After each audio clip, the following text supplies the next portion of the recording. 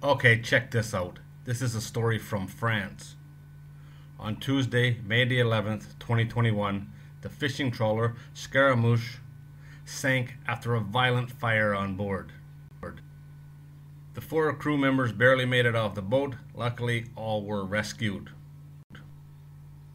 One week after the fishing trawler sank, the salvage company Ceres was on site to locate the wreck with their side scan sonar.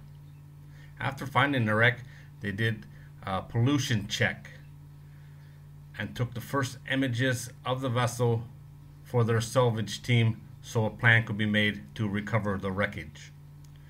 On the 25th of June, the wreckage was salvaged. You can see here they picked up the entire boat, what's left of her, by its engine. Looks like a beam trawler doing the dirty work or the lifting of the boat off the seabed and loading the pieces onto its deck. I don't know how big this trawler was, but she don't look very big compared to the to the beamer, that's for sure.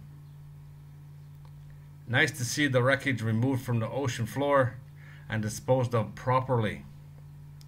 As bad as this looks, could have been a lot worse. There were no loss of life. As far as I know, no pollution issues. I would assume uh, any fuel on board would have burnt in the fire. And the wreck was recovered. Could have been a lot worse, like I said. Good job to all involved. I think a lot more of these wrecks should be, uh, if possible, removed from the ocean. It's just leaving them there It just leaves problems for uh, everybody in the future.